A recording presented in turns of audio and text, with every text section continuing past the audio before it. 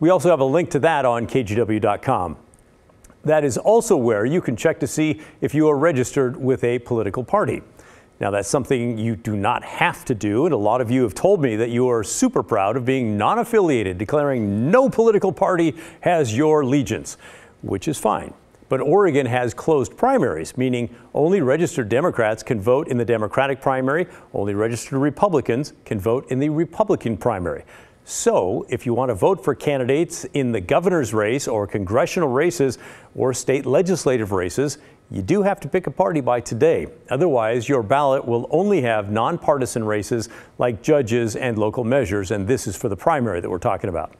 Anna sent us this email saying, Browsing through the voters' pamphlet for the Oregon primary election today, my spouse and I were discussing why Oregon still has closed primaries.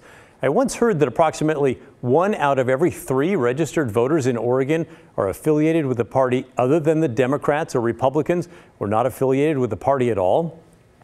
That law seems pointless to me. Today, there are, I believe, only nine states that have closed primaries. So, why are Oregon's primaries still closed? Seems like having closed primaries is kind of forcing people eager to participate in the right to vote that choose affiliation with one of the two main political parties? Well, that is a great question, Anna. Different states have different ways that their primaries work, and you are right. Oregon is one of only nine states where primaries are completely closed. We're showing you the red states there in map on the map. Those that's where it's closed. That means you have to become a member of the political party to vote in one with no exceptions. So, what's the thinking behind this? Well, there's arguments for and against closed primaries. Some say they prevent crossover voting.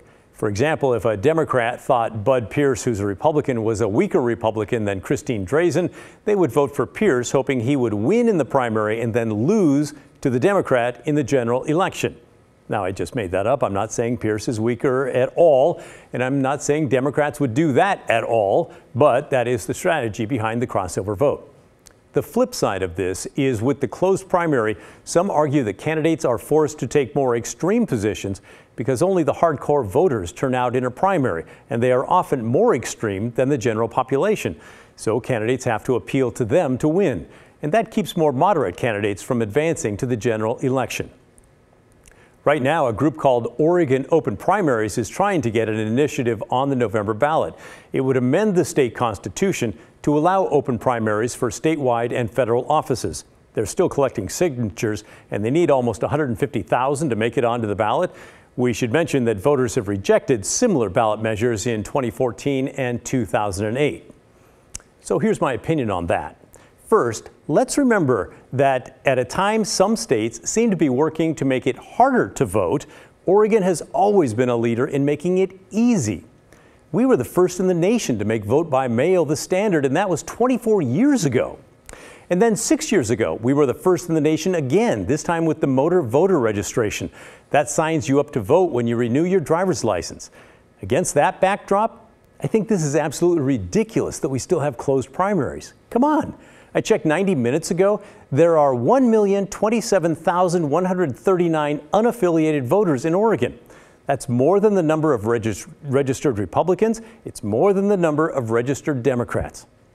But the current rules will keep those million people from voting in the primary for either the Democrat or Republican candidates for governor, Congress, or state legislative races. That's just wrong. And I know the argument about crossover voting, but I doubt enough people would actually do that to make a difference. One of the common arguments against closed primaries is that it makes the candidates more loyal to the party than to the voters. That does sound accurate to me. Oregon state law allows Democrats and Republicans to close their primaries. And I just looked up that Oregon Open Primary Initiative.